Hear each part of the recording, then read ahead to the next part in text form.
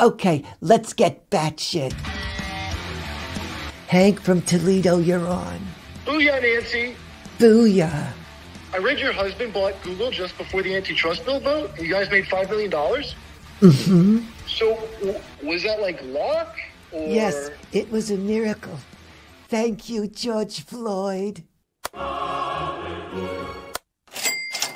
Okay, Mark from Illinois.